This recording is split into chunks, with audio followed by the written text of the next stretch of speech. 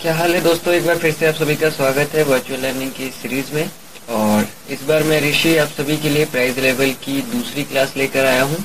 और पिछली बार पिछली मरतबा हमने अपना टॉपिक जहाँ से छोड़ा था, वहीं से हम प्राइज लेवल को समझते हुए आगे के अब हम क्वेश्चन सॉल्व करेंगे, आगे के टॉपिक्स को देखेंगे। दोस्तों, पिछली क्लास में हमने जो एंट्रियाँ शुरू की थी प्राइज लेवल को समझने के लिए उसमें हमने एक मई तक के सभी ट्रांजेक्शन देख लिए थे और हमने लगभग लगभग कुछ परचेज की एंट्रियाँ की थी जिसमें हम मोबाइल से रिलेटेड आइटम वगैरह खरीद रहे थे। लेकिन जैसा कि मैंने आप लोगों को बताया था कि प्राइस लेवल असल में एक सेट होता है। सेल करने वाले जो प्राइस होते हैं हमारे अलग अलग कंडीशंस में, उसका एक सेट बना बनाया जो होता है, वो होता है। बनाकर हम रख लेते हैं। तो अभी तक तो फ़िलहाल कोई सेल की एंट्री आई नहीं। अभी तक तो सिर्फ़ हमने बिज़नेस में परचेज ही की है इन्वेस्ट ही किया है। लेकिन अब परचेज की एंट्री आएगी आ, नहीं आएगी और अब सेल की एंट्री आएगी और उसके अंदर हम प्राइस लेवल का यूज़ करेंगे। तो नॉर्मली अभी तक तो हमने नहीं किया है हमने बस उसकी सेटिंग ही देखी थी पर अब वो सेटिंग जो प्राइस लिस्ट हमने बनाया था वो काम कैसे करेगा वो हम अब देखेंगे।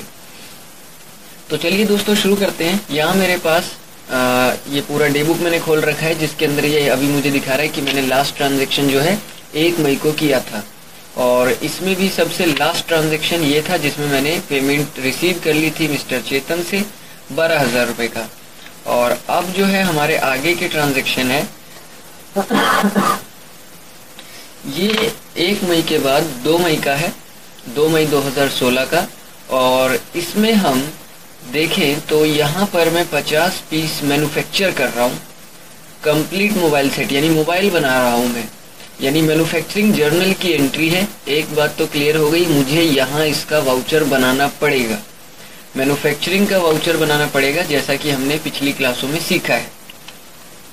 और इस मोबाइल को बनाने के लिए हमें जो नीचे दिया गया है according to following bill of material इसका यूज़ करते हुए ये मोबाइल हमें प्रोड्यूस करना है। यानी ये सारा स्टॉक लगाकर हमें ये मोबाइल बनाना है। यानी एक मोबाइल को बनाने में इतना इतना सामान लगता है। और मोबाइल बनाकर जो भी स्टॉक निकलेगा उसे मेन लोकेशन में स्टोर करना है। साथ ही साथ इस पूरे प्रोसेस पे 10 परसेंट लेबर चार्ज भी जुड़ेगा। तो चलिए दोस्तों, सबसे पहले तो हम अपना एक वाउचर बना लेते हैं। जो मैन्युफैक्चरिंग जर्नल का होगा, इसके लिए आप इन्वेंट्री इन्फो में आओगे और यहाँ पर ऑप्शन होता है वाउचर टाइप्स का। वाउचर टाइप्स में आकर आपको करना है क्रिएट और मैं इसे नाम देता हूँ मैन्युफैक्चरिंग जर्नल और ये जो है, एक तरीके का स्टॉक जर्नल वाउचर है तो यहाँ से आप इसे स्टॉक जर्नल चुन लेंगे। और इसके बाद इसे आप ऑटोमेटिक ही रखेंगे, सीधे आपको आना है यहाँ पर। Use as a manufacturing journal और आप इसे यस कर देंगे और अब आप इसे यहाँ से एक्सेप्ट करा लीजिए। एक काम आपका हो चुका है। अब दूसरा काम ये कि जो डिटेल यहाँ पर ये दिया गया है इतना, कि एक मोबाइल बनाने के लिए इतना सब चीज़ इतना इतना लगता है, यानी एक एक पीस ही लगता है सब कुछ, लेकिन इस इस रेट पर और अब इन गोडाउनों से निकाल कर लगाते हैं। तो इसी को असल में किया जा, कहा जाता है बिल ऑफ़ मटेरियल। और मुझे ये बिल ऑफ़ मटेरियल जो मेरा मोबाइल है उसी आइटम के अंदर बना बताना पड़ता है बनाना पड़ता है। तो हम क्या करेंगे अपने स्टॉक आइटम को ऑल्टर करेंगे क्योंकि मैं मोबाइल पहले ही बना चुका हूँ। और इससे पहले कि आप ये करें आपको आ, ये देखिए ये रहा मेरा मोबाइल और मोबाइल में आके बिल ऑफ़ मटेरियल का ऑप्शन अभी आपके पास नहीं आ रहा होगा तो आप इसके लिए F12 कर लेंगे, और ये रहा सबसे नीचे बिल ऑफ़ मटेरियल का ऑप्शन इसको आपने यस करना है। सबसे पहले आपको ये करना है। और यहाँ नीचे ये ऑप्शन आ रहा है बिल ऑफ़ मटेरियल का, आप इसे यस कर देंगे। एक नाम देने के लिए कह रहा है तो मैंने यहाँ पर इसे नाम दे दिया मटेरियल डिटेल और मोबाइल ये नाम हम दे सकते हैं ठीक ठाक है। अब आप ये बताएँगे कि एक बार में आप कितने आइटम मैन्युफैक्चर करते हैं? तो मैं एक बार में एक ही आइटम मैन्युफैक्चर करता हूँ, यहाँ मुझे दिया भी हुआ है। तो मैं यहाँ पर एक डालूँगा और फिर इस आइटम को बनाने के लिए क्या क्या दूसरी चीज़ें लगती हैं, वो आपको बताना है। तो सबसे पहले तो है इंटरग्रेटेड सर्किट वो आप चुन लेंगे। और अब ये पूछ रहा है, इसको आप बनाने के लिए कहाँ से लाते हैं? तो आप अलीपुर से लाते हैं। अलीपुर आपको चुनना है। कितनी क्वांटिटी लगती है? तो सब चीज़ एक ही लगता है, आप एक ही डालेंगे। रेट इसमें बताने की ज़रूरत नहीं है। माइक्रो प्रोसेसर का है तो एक है लगता है और अलीपुर से लगता है, वो आप बता देंगे। अलीपुर और एक। आगे जो है, वो है मोबाइल बैटरी मेन लोकेशन और मोबाइल बॉडी और चार्जर अलीपुर। तो मोबाइल बैटरी है आपका अलीपुर सॉरी मेन लोकेशन और मोबाइल चार्जर इसको आप अलीपुर से निकालते हैं, एक पीस लगता है। और शायद बॉडी था तो मोबाइल बॉडी भी लगता है, इसको भी आप अलीपुर से उठाते हैं, एक पीस लगता है। ये सारा आपने बता दिया कि एक मोबाइल अगर बनाना है तो उसके लिए क्या क्या लगता है और आप उसे कहाँ कहाँ से निकाल कर लगाते हैं, फिर आप बनाते हैं। आप इसको ऐसे ही एक्सेप्ट करा लीजिए, ये आपका आइटम भी क्लियर हो गया। इसके बाद एक चीज़ और आपको करनी है। F11 में आना है और इन्वेंट्री फीचर्स के अंदर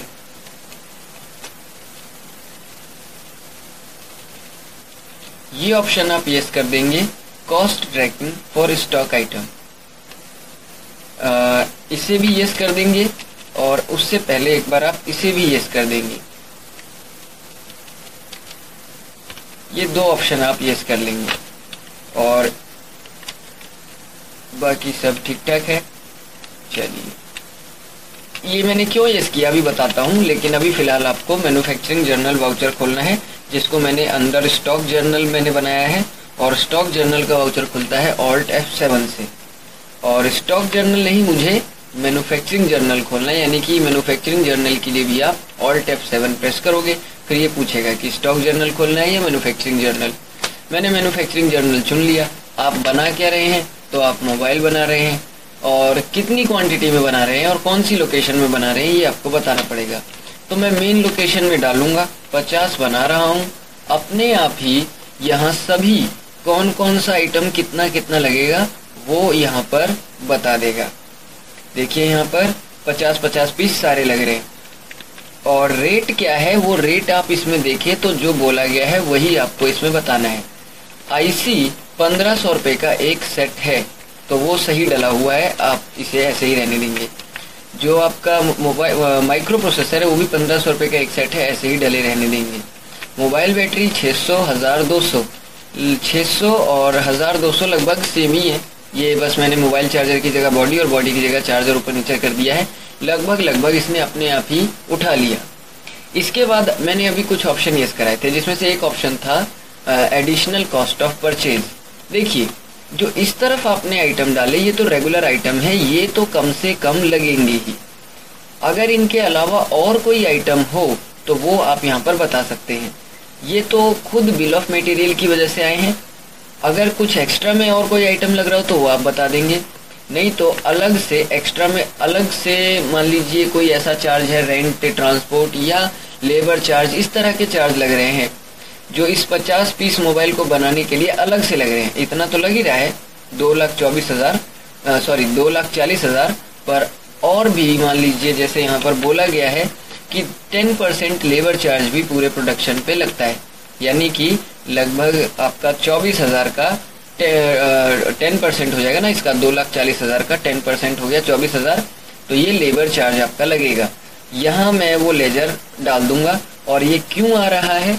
तो ये आता नहीं वैसे। अगर आपने वो ऑप्शन यस नहीं किया होता है एफ़ इलेवन में एडिशनल कॉस्ट ऑफ़ परचेज वाला। तो यहाँ लेबर चार्ज का लेजर मेरे पास नहीं है, मैं बना लूँगा। और इसे मैंने नाम दिया लेबर चार्ज ये इनडायरेक्ट एक्सपेंस में डालना है, और इसे आप सीधे ऐसे ही एक्सेप्ट करा देंगे। कितने परसेंट है? टेन परसेंट यानी चौबीस हज़ार आ गया। और कुल मिला करके अब आप नरेशन देना चाहे तो दे सकते हैं। टोटल कॉस्ट आपकी आई है एडिशनल चौबीस हज़ार की, ये दो लाख चालीस हज़ार था, मिलाकर हो जाएगा दो लाख चौसठ हज़ार। और पर आइटम ये तो पचास पीस बनाने का टोटल कॉस्ट आ रहा है। पर आइटम जो आपका मोबाइल बन रहा है, वो बन रहा है पाँच हज़ार दो सौ अस्सी रुपये पर पीस। और ये सारे मैंने मेन लोकेशन में बनाकर डाल दी। अगला जो एंट्री है, अब उसकी तरफ़ बढ़ते हैं। ये दो मई की ही थी। एक बार मैं चेक कर लूँ, वो डेट मैंने क्या डाली है, जो एंट्री अभी मैंने की, ये एक मई है। और असल में यहाँ दो मई होना चाहिए था तो आप दो डाल देंगे। दो, पाँच। ये हो गया, अब आप इसे एक्सेप्ट करा लेंगे।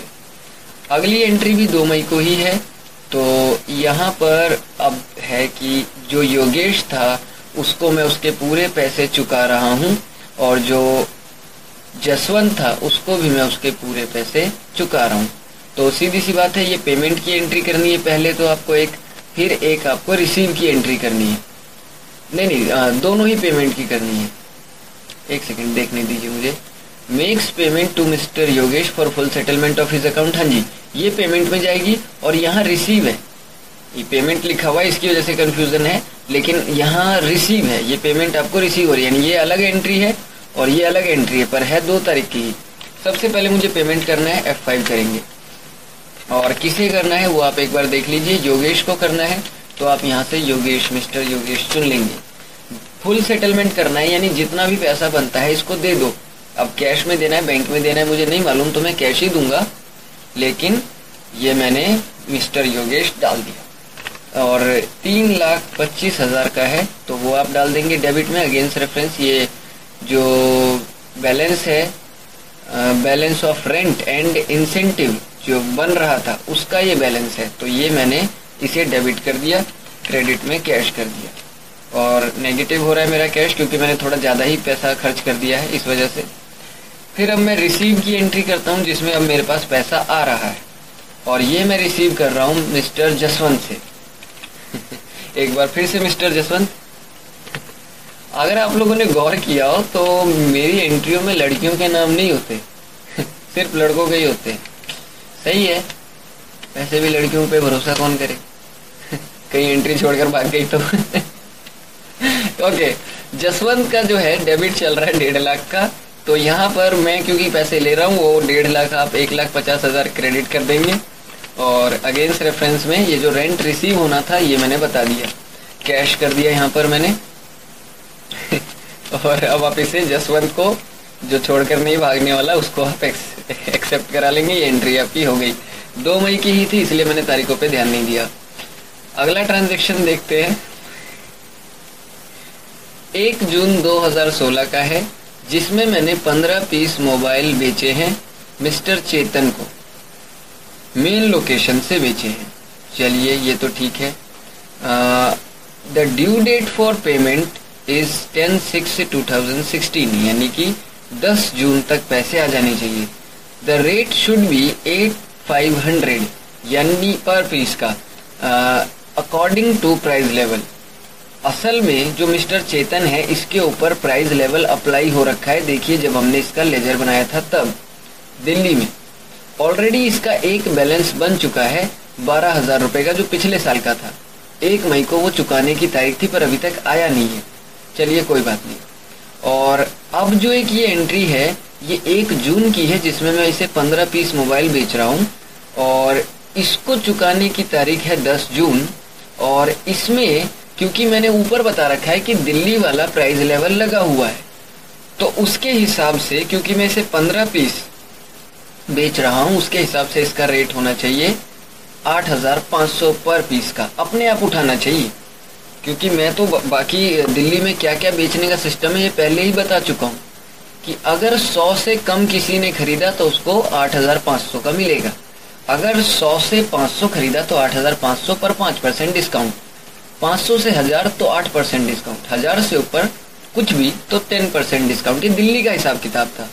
और मैंने यहाँ पर जो हमारे लेजर बनाए थे, उसमें जो चेतन था, उसको दिल्ली से ही अटैच किया है। मतलब कि अगर अब मैं एफेट करता हूँ डेट चेंज करता हूँ, और ये मैंने एक छ कर दी। एक सेकेंड जरा रुकिए। शायद ये जो मैंने इससे पहले वाली एंट्रियाँ की हैं, इनमें मैंने दो मई नहीं डाला तो मैं वो डाल दूँगा। पहले उनको ठीक करना ज़रूरी है। ये मिस्टर योगेश वाला भी दो मई का था।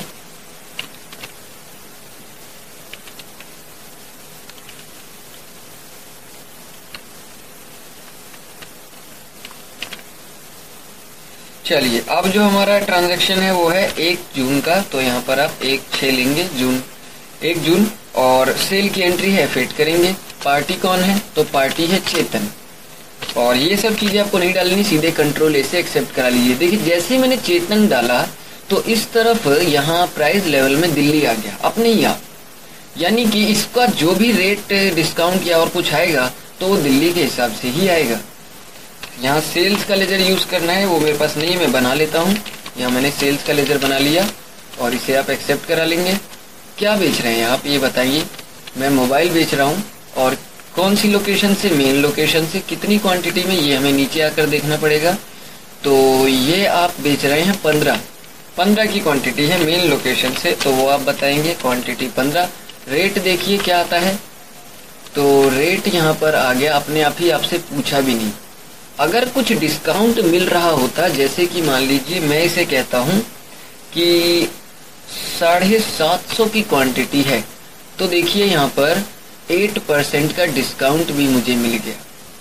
अगर मैं कहता हूँ सौ की क्वांटिटी है तो आठ हज़ार पाँच सौ के हिसाब से लगभग लगभग होना चाहिए था थोड़ा ज़्यादा पर मुझे पाँच परसेंट का डिस्काउंट मिल गया। उस हिसाब से ये इतना मुझे दिखा रहा है। आ, इसका हो जाना चाहिए था दो ज़ीरो और लग जाते तो आठ लाख पचास हज़ार। पर पाँच परसेंट का डिस्काउंट काट के आठ लाख सात हज़ार ही बन रहा है। लेकिन फ़िलहाल तो पंद्रह की ही क्वांटिटी है तो आप पंद्रह ही डालेंगे, कोई डिस्काउंट नहीं मिलेगा। लेकिन ये सब चीज़ें अपने आप आएगी, क्योंकि मैंने यहाँ पर दिल्ली का प्राइस लेवल बोल रखा है। हाँ अमाउंट में आप चाहें तो ऐड और डिडक्ट कर सकते हैं। हो सकता है, ये चीज़ पॉसिबल है। आपने मान लीजिए बात कर ली, भाई पाँच सौ रुपये छोड़ने तो आप इसको एक लाख सत्ताईस हज़ार का बिल बना दो। लेकिन फ़िलहाल मुझे यही रखना है और अब आप इसे एक न्यू रेफरेंस देंगे और मैंने कहा sales on first June due date यहाँ पर 10 जून की है तो मैं आगे के 9 दिन की मोहलत दे देता हूँ। 10 जून को टाइम खत्म हो जाएगा और अब आप इसे एक्सेप्ट करा लेंगे, ये आपकी एंट्री हो गई। तो असल में ये होता है प्राइस लेवल का इस्तेमाल। इस तरह से हम प्राइस लेवल को यूज़ करते हैं। इतने से काम को आसान करना आपको लग रहा है फिर तो छोटा यूज़ हुआ इतना खास क्या हुआ? लेकिन ये खास है, अगर आप बड़ी बड़ी इन्वेंट्री रखते हैं बड़े बड़े तरह की कंडीशन में आप डील करते हैं और बहुत अलग अलग तरह के कस्टमर्स हैं तो इतना सारा प्राइस का सिस्टम याद नहीं रहता।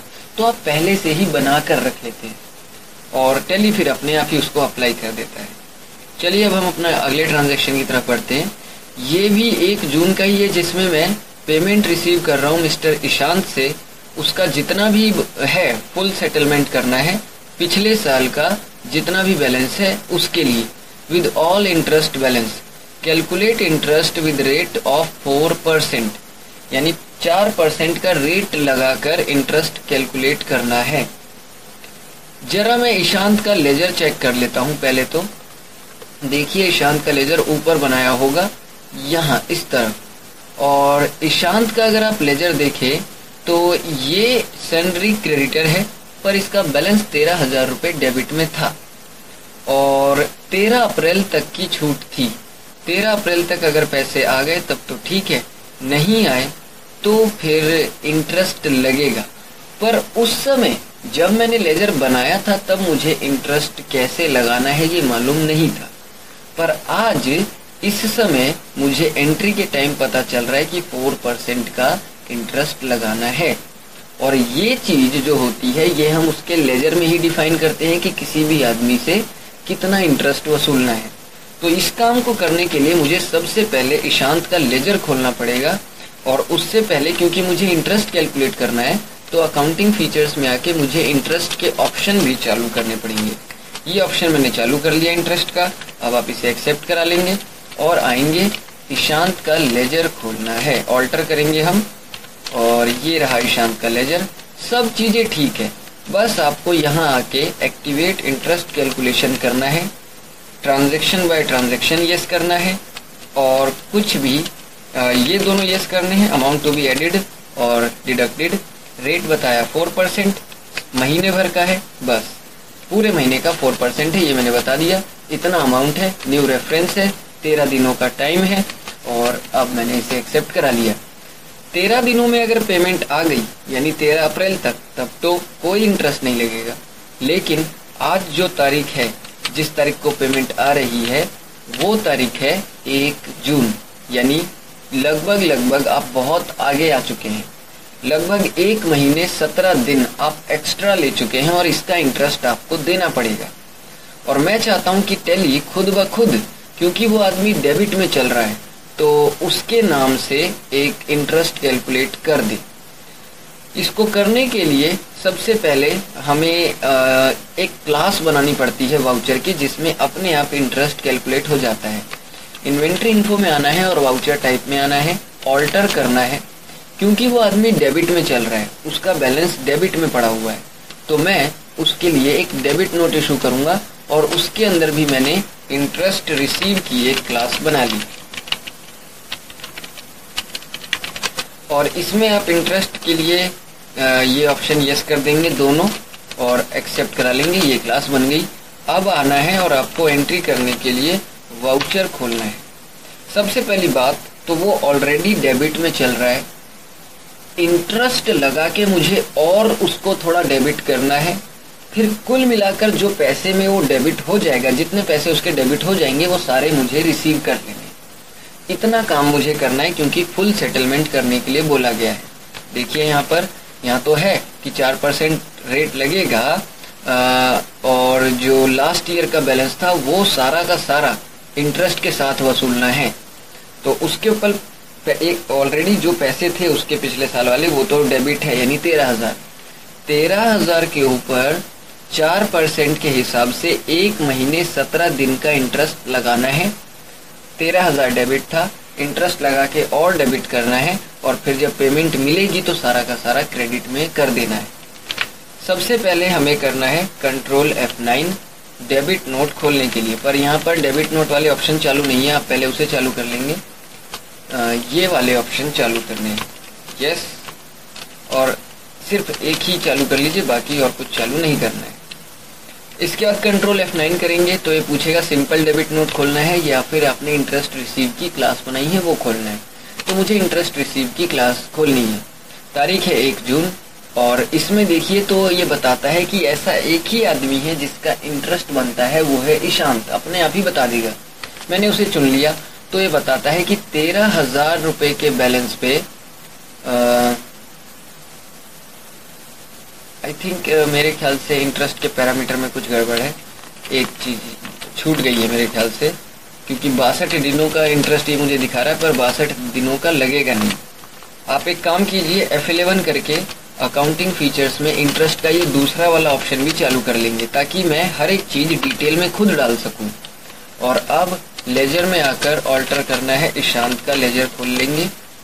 और जो इंटरेस्ट वाले ऑप्शन है उसमें यहाँ मैंने चार परसेंट बताया। ओके यहाँ देखिए, ये है ऑलवेज पर मैं चाहता हूँ कि ऑलवेज नहीं, यानी जब से बिल बना तब से नहीं, बल्कि जब से ड्यू डेट निकल गई तब से लगाना है।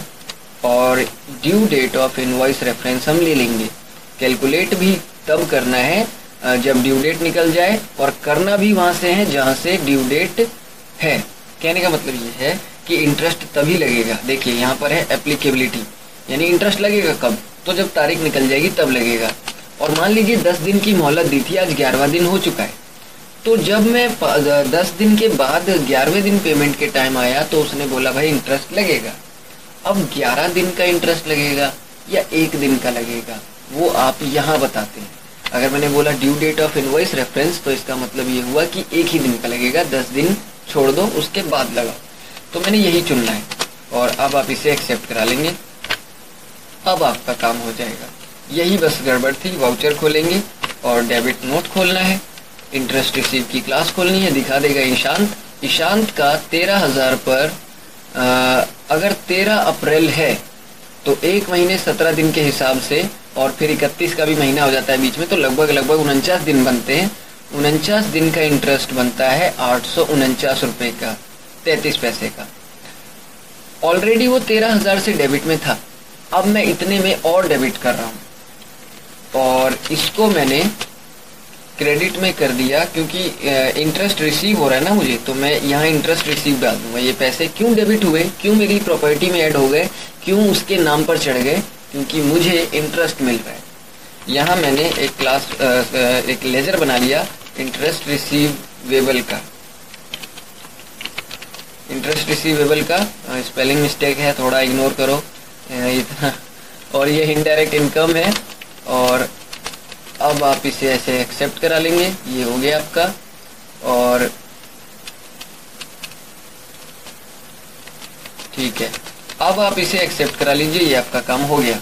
अब क्या करना है, इसी तारीख को मुझे उसके सारे पैसे वसूलने भी है, यानी रिसीव की एंट्री करनी है इसी तारीख में, एक जून को ही। क्रेडिट कर दूँगा मैं ईशांत को। तो देखिए, तेरह हज़ार नहीं बल्कि उसमें आठ सौ उनचास रुपए जोड़ कर और डेबिट हो रहा है। पर अब मुझे इसका पूरा हिसाब किताब सेटल करना है तो वो मैंने यहाँ पर डाल दिया। अगेंस्ट रेफरेंस लिया मैंने और डेबिट हो गया कैश मुझे अब कैश मिला है। वो जो इंटरेस्ट वाले पैसे मैंने ईशांत में करा दिए थे डेबिट वो भी मुझे अब मिल रहे हैं। और अब मैं इसे एक्सेप्ट करा देता हूँ। ये हुआ हमारा ट्रांजेक्शन ये था एक जून का। अगला ट्रांजेक्शन है दो जून का। यानी सबसे पहले मैं तारीख चेंज कर लेता हूँ। तारीख में बहुत गड़बड़ होती है। दो जून हाँ ठीक है, अब आ जाओ। सेल करे मैंने 20 पीस मोबाइल कापा सेड़ा से मिस्टर लोकेश को। 40 दिन चुकाने के लिए दिए मैंने। 40 दिन के बाद इंटरेस्ट लगेगा 12 परसेंट। मोबाइल का जो रेट है, वो यही होना चाहिए। क्योंकि वो 20 पीस ले रहा है ना तो यही होना चाहिए। According to Haryana price level मतलब सीधी सी बात है, जो लोकेश का लेजर है वो हम पहले ही बना चुके हैं पर 12 परसेंट का रेट उसमें डाला नहीं है तो डालना पड़ेगा। चलिए देखिए कैसे करना है। जो लोकेश है आ, लोकेश का लेजर ये बना पड़ा है। तो मैंने ये मैं, मैंने एक्चुअल में ऑल्टर करना है मैंने एक बार इसे चुन लिया और कंट्रोल एंटर कर दिया। अब आप लोकेश के लेजर में कर देंगे इंटरेस्ट वाले ऑप्शन को यस इसे भी यस और इसको यस और इसको भी यस क्या रेट है वो आप देखिए यहाँ पर। 12 परसेंट का रेट है। महीने भर लगना है। ऑल बैलेंस ले लेते हैं पास ड्यू डेट और due date of invoice reference इसे आप ऐसे ही एक्सेप्ट करा लेंगे। बस, अब और कुछ नहीं करना है अब आप एंट्री कर दीजिए। सीधे सेल की एंट्री है, बीस पीस बेचे हैं। एफ़ एट लोकेश है। हरियाणा का प्राइस लेवल लगेगा, अपने आप आ गया। सेल्स चुना मैंने। अब बताइए आइटम आइटम है मोबाइल लोकेशन कापासेड़ा से मैं बेच रहा हूँ। कापासेड़ा में मेरे पास 20 पीस है। मैंने 20 बेच दिए। रेट अपने आप आ गया डिस्काउंट भी आ गया दो परसेंट का। रेट एटी फाइव हंड्रेड ही आया जैसा इसने बोला था। और इसे आप एक्सेप्ट करा लेंगे। और इसे एक न्यू रेफरेंस देते हैं। मैंने कहा सेल्स ऑन सेकेंड जून और ड्यू डेट इसकी 40 दिनों की बोली गई है तो आप 40 दिन डाल देंगे यहाँ पर। और इसे आप ऐसे ही एक्सेप्ट करा लेंगे। अगला ट्रांजेक्शन क्या है? आ, दो जून का ही है। Udit become installment and only ten percent of all balance could be recover Udit बर्बाद हो गया और उसकी वजह से सिर्फ़ जितना मैंने उसका उसको पैसा दे रखा था या जितना मुझे वसूलना था उसमें से टेन परसेंट ही मिला। यानी नाइन्टी परसेंट का बैड डेबिट हो गया। तो देखिए क्या चीज़ है। अब मेरे को मालूम पड़ चुका है कि उदित बर्बाद हो चुका है और अब उससे पैसा नहीं आने वाला। तो मैं क्या करूँगा? जितना भी बैलेंस है उसका वो चेक करूँगा कैसा चल रहा है। तो उदित का जो है लेज़र वो मैं चेक करना चाहता हूँ तो कोई भी सिंपल सी एंट्री कर लो। मान लो अगर कोई भी आदमी बर्बाद होता है तो नॉर्मली उसमें से टेन परसेंट अगर रिकवर हो रहा है तो ऑब्वियसली मैं मे, वो मेरे को पैसा देगा यानी वो डेबिट में चल रहा है। और पैसा मैं रिसीव करूँगा तो एफ़ सिक्स में ये एंट्री होगी। क्रेडिट तो हो जाएगा उदित अब इसका एक लाख का बैलेंस था। मैं सारा का सारा ही खत्म कर दूँगा क्योंकि मुझे मालूम पड़ गया कि भाई ये नहीं दे पाएगा, अब इसके पास है ही नहीं। अगेंस्ट रेफरेंस में मैंने ये कर दिया। और डेबिट क्या है? कैश पर कैश मिला कितना? सिर्फ़ दस हज़ार टेन परसेंट ओके और बाकी क्या हुए? तो बाकी हो जाएँगे, इसको हम कहते हैं बेड डेबिट्स यानी कि इनडायरेक्ट एक्सपेंस में आप कह सकते हो इसको एक तरीके से। प्रॉफिट एंड लॉस भी हो सकता है, जो भी है। नाइन्टी परसेंट का मेरा ये हो गया नुकसान। तो मैंने वो डेबिट में दिखा दिया। नुकसान हमारे सारे डेबिट ही होते हैं। दो जून का ट्रांजेक्शन था, एक्सेप्ट करा लेंगे। अगला और लास्ट ट्रांजेक्शन जो हमने प्राइस लेवल वाले क्वेश्चन में देखा कि हमने किशोर को पेमेंट कर दी है और यूको बैंक से की है, यानी अपने बैंक अकाउंट से की है, पूरा सेटल करने के लिए। और डिस्काउंट मिला है दस हज़ार रुपये का। ये एंट्री है। पेमेंट करी है, दो जून को है तो आप एफ़ फाइव करोगे और ये मिस्टर किशोर को मैंने पेमेंट करी तो वो डेबिट हो गया। दो लाख आठ हज़ार पाँच सौ रुपये इसका पूरा हिसाब किताब खत्म करना है। तो दो लाख आठ हज़ार पाँच सौ मैंने डाला यहाँ पर। अगेंस्ट रेफरेंस ये पुराना वाला बिल जो सेल किया था वो। क्रेडिट में पहले तो मुझे डिस्काउंट काटना है क्योंकि मुझे दस हज़ार का डिस्काउंट मिला है। तो मैंने ऑल्टर सी किया और मैंने ये लेजर बनाया डिस्काउंट रिसीव के नाम से। और डिस्काउंट रिसीव जो है नॉर्मली हम जो है इनडायरेक्ट इनकम में डालते हैं तो यहाँ मैं इसको पहले रिसीव में डाल दूँ। और ये इनडायरेक्ट इनकम में होगा तो आप ये डाल देंगे और इसे एक्सेप्ट करा लेंगे। भाई, कितने का डिस्काउंट बनता है?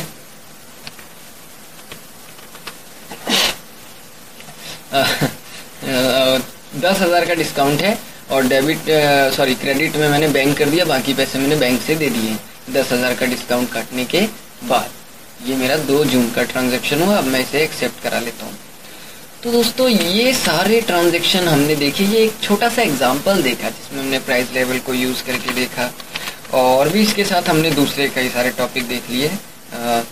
एक तरीके से मैन्युफैक्चरिंग जर्नल देख ही लिया हमने, और भी इंटरेस्ट कैलकुलेशन भी कर लिया, साथ ही साथ गोडाउन के भी ऑप्शन यूज़ हो गए।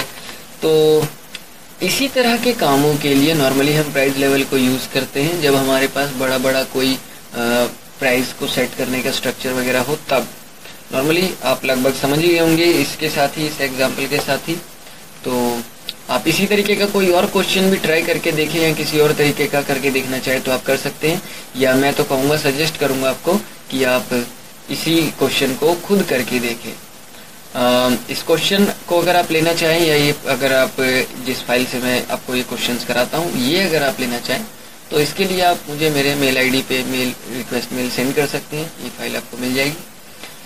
इसी तरह के अगले वीडियोस में मैं आपसे मिलता रहूँगा। तब तक के लिए फ़िलहाल इस वीडियो को देखने के लिए थैंक्स मिलते हैं हम अपने अगले ट्यूटोरियल में।